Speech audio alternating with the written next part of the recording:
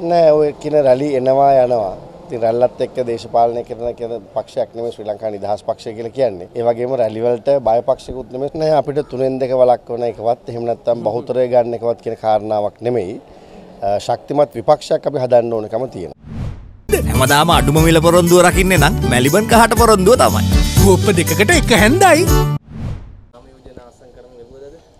තාම අස්සම් කරේ නෑ. නෑ කල්මරන්නේ පක්ෂ ලේකම් විදිහට වැඩ ගොඩක් තියෙනවා. මොකද අපේ ශ්‍රී ලංකා නිදහස් පක්ෂයේ ලංකාවේ සියලුම දිස්ත්‍රික් වලට තරඟ වදින අපේ ශ්‍රී ලංකා නිදහස් පක්ෂ කණ්ඩායම. නිසා පක්ෂ ලේකම්වරයා විදිහට මම අස්සම් කරන එක නෙමෙයි වැදගත් වෙන්නේ. අපේ පක්ෂයේ ඉන්න පාක්ෂිකයන්ට අපේ ආසන සංවිධායකරුන්ට එයාගේ ප්‍රශ්න ටික ලිහන එක. ඒ නිසා මේ වෙලාවෙත් කරන්නේ ඒ ටික තමයි. නෑ අර්බුදයක නෙමෙයි. ඉතින් සන්දානයක් හැදිලා එකතු වෙලා ලයිස්තුවක් හදනකොට තියෙන්නේ ලයිස්තුවේ යම් ප්‍රමාණයක් නැති ප්‍රමාණයත් එක්ක සියලු පක්ෂත් එක්ක සාකච්ඡා කරලා මොකද අපි මේ පාර මැතිවරණයේදී ශක්තිමත් විපක්ෂයක් හදන්න ඕනකම තියෙනවා. ඒ නිසා ශක්තිමත් අපේක්ෂක ප්‍රමාණයක් අපි ඉදිරිපත් කරන්න ඕනකම තියෙනවා. කොහොමද අනුරාධපුර දිස්ත්‍රික්කෙන් පාර්ලිමේන්තුවට එන්න පුළුවන් වෙයිද මේ සැරේ? අනිවාර්යයෙන්ම ශ්‍රී ලංකා නිදහස් පක්ෂයෙන් වගේම අනිකුත් පක්ෂ සේරම එකතු වෙලා තමයි පිල්ලන්නේ.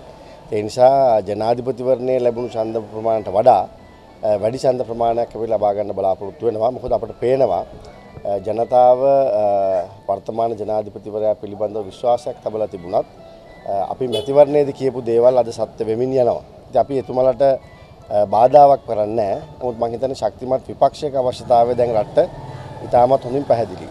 පැල්ල තියෙන්නේ මාලිමාවට. පැල්ලත් එක පුළුවන් දේ තරම් කරන්න. නෑ ඔය කියන රැලි එනවා යනවා.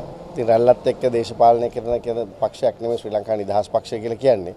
ඒ වගේම රැලි වලට බය පක්ෂිකුත් නෙමෙයි ශ්‍රී ලංකා නිදහස් පක්ෂය. ඒ වගේම මම හිතන්නේ මේ රටේම ජනතාව ගත්තොත් එහෙම මේ සියලු රැලි වලට අපි අහු වුණානේ. ගෝඨාභයගේ රැල්ලට අහු වුණා.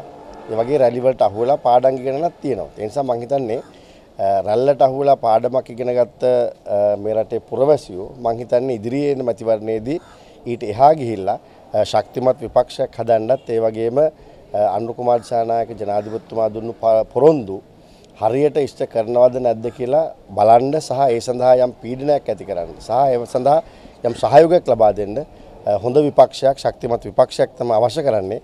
ඒ නිසා මම හිතන්නේ ජනතාව පහුගිය ජනාධිපතිවරණයට වඩා වැඩි විශ්වාසයක් මම හිතන්නේ විපක්ෂය තුල තබන මැතිවරණයක් තමයි ඉදිරියට අප බලා ගන්න පුළුවන්කම තියෙන්නේ. ඔබතුමාලගේ මේ උත්සාහය බහුතරය ගන්න එක වළක්වන්නද නැත්නම් තුනෙන් දෙක ජාතික ජන බලවේගයට යන එක වළක්වන්නද? නෑ අපිට තුනෙන් දෙක වළක්වන එකවත් එහෙම නැත්නම් බහුතරය ගන්න එකවත් කියන කාරණාවක් නෙමෙයි.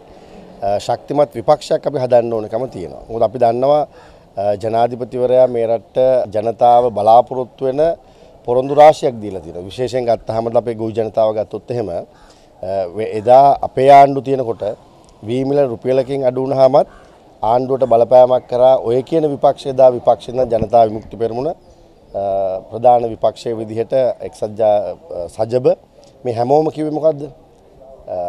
වීමිල දී ගැනීම ආණ්ඩුවෙන් කරන්න බැරි නම් මොකටද ආණ්ඩුවක් කියලා කිව්වා. දැන් මේ අය මේව කරලා පෙන්වන්න ඕනකම තියෙනවා. ඉතින් ඉදිරියේදී එන්නේ අස්වන් වලට කාලයක්. ඉතින් අපි දන්නවා මේකට කොහොමද මේ ආණ්ඩුව මුහුණ දෙන්නේ කියන කාරණාව. ඉතින් ජනතාවත් බලන් ඉන්නවා. ඒ නිසා තමයි අපි කියන්නේ ශක්තිමත් අනුර කුමාර දිසානායක මැතිතුමා මේ රටේ ජනතාවට ලබා දුන්නු ජනතාව බලාපොරොත්තු වෙන පොරොන්දු ටික ඉෂ්ට කරවීම සඳහා නම් ශක්තිමත් විපක්ෂයක් ඉන්න ඕනකම තියෙනවා. එහෙම නැතුව අපි මේක ඉදිරියේදී කරන්නම් එහෙම නැත්නම් කඩින් කඩ කරන්නම් බල්ලා කරන්නම් කියන උත්තරයක් නෙමෙයි ජනතාව බලාපොරොත්තු වෙන්නේ. ඒ සඳහා මේ ආණ්ඩුව ඒ සඳහා මේ රජය ශක්තිමත් කිරීමට ඒ සඳහා පෙළඹවීමට ඒ පාරෙන් පයින් නැතුව හරි පාරේ ගමන් කරන්න නම් ශක්තිමත් විපක්ෂයක් ඉන්න ඕනේ. මොකද ශක්තිමත් විපක්ෂයක අවශ්‍යතාවය ඔබතුමාලා දන්නවා. පහුගිය ජනාධිපතිවරණයේදී ජන හිටපු ජනාධිපතිවරයා පෙරදුනහම සාමාන්‍යයෙන් එන්නේ විපක්ෂ නායකවරයා තමයි ජනාධිපති වෙන්නේ. ඉතින් මේ මැතිවරණයේදී එහෙම ප්‍රතිඵලයක් නෙමෙයි ලැබුණේ. ඒ නිසා ශක්තිමත් විපක්ෂයක අවශ්‍යතාවය ඉතාමත් දැඩිව තියෙනවා.